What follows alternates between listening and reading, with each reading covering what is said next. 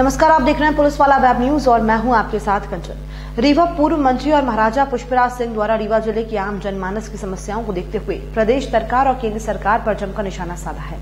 कई गंभीर आरोप लगाए गए हैं और सरकार को अपनी तरफ़ से अपने सुझाव दिए गए हैं, जिसको लेकर पत्रकार वार्ता आयोजित की गई। आते हैं और अस्पताल जाते हैं। वहीं से पेशेंट्स बाहर निकलते हैं। वहीं से पूरा हॉस्पिटल का स्टाफ भी आना जाना उसका होता है।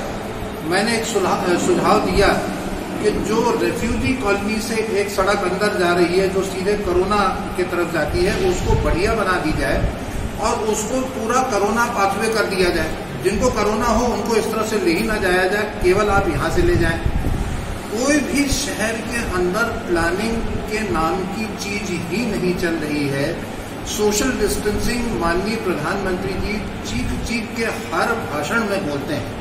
मैं स्वागत करता हूँ। मैं स्वागत करता हूँ कि अस्पताल से माननीय शिवराज सिंह जी बोल रहे थे। तो क्या मैं ये मान लूँ कि रीवा के अंदर शासन और प्रशासन, प्रधानमंत्री जी के और शिवराज सिंह जी के कहने पे नहीं चल रहा है? मुझे तो जो दिख रहा है, जो कथनी और करनी में बात आ रही है, करनी में रीवा पूरी तरीके से फेल हो गया है। सर, इस समय पुलिस प्रशासन देखा जा रहा है कि जहाँ पे मन होता है तो वहीं पे खड़े होकर पर्चियाँ काटने लगते हैं। शहर में भीड़ भी बढ़ है शहर में भीड़ बढ़ रही है खास तौर से हमारे धुबिया टंकी से लेके अस्पताल चौराहा से लेके और पूरी अमहिया रोड में आज ही लगभग 45 मिनट मेरी ही गाड़ी फंसी रही। एक पुलिस वाला नहीं दिखा। अब अगर पुलिस की कमी है तो हम और आप तो सड़क पे खड़े हैं। ये तो काम प्रशासन का है कि वो लिख के दें डीजी को कि हमें पुलिस ज़्यादा दीजिए, बल ज़्यादा दीजिए। अगर पुलिस की कमी नहीं है तो फिर क्यों नहीं है? है तो आठ आठ विधायक यहाँ पर शांत क्यों हैं? वो क्यों नहीं बोल रहे हैं कि हमारे यहाँ ये मुश्किल है? एक ज्ञापन देने डीजी साहब को या गृह मंत्री जी को, नरोत्तम मिश्रा जी एक बहुत अच्छे, संवेदनशील व्यक्ति हैं और आई एम श्योर कि वो अगर इस बात को जानकारी प्राप्त करेंगे तो वो कार्य कर देंगे। नहीं करते हैं तो मैं मीडिया के माध्यम से नरोत्तम जी मेरे मित्र भी हैं। मैं उनसे निवेदन करना चाहता हूँ कि रीवा को पुलिस बल और ज़्यादा दें और ये पर्ची काटने पर कोई व्यवस्था हो। संडे को केवल जो ये बंद हो रहा है, वो एक मज़ाक बन के रह गया है।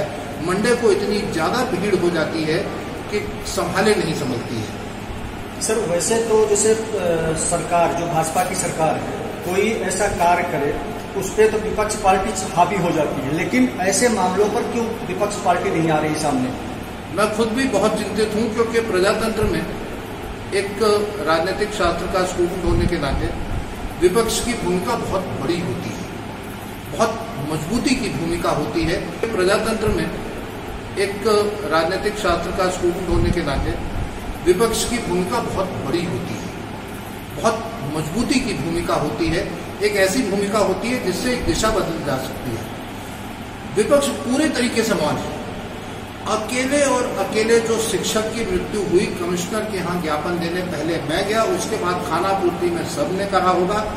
लेकिन जो लोग यहाँ पर विपक्ष में बैठे पद भी प्राप्त करे हैं दुर्भाग्य से उन लोगों ने तक भी आवाज़ नहीं उठाई है। एक भी मुद्दे पर विपक्ष नहीं बोल रहा। विपक्ष मौन है। पक्ष मौन है।